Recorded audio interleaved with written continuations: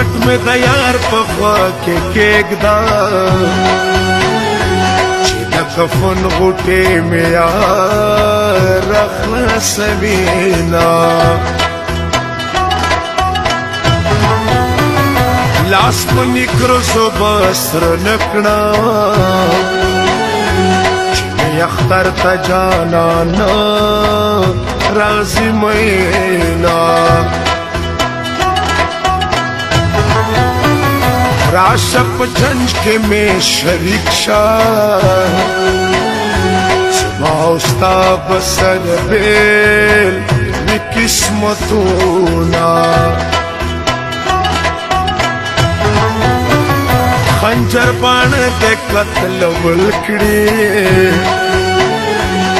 رب وروي زمبوا زخمي دکړه ما شزړن مر پټوګې دوشي څنګه زما پتر زه دو شي حیران شما اول می در توین چې رکیبان مرا ولا بسړه دې چې زخمی کړم طبيبان مرا ولا بسړه دې چې زخمی کړم طبيبان مرا ولا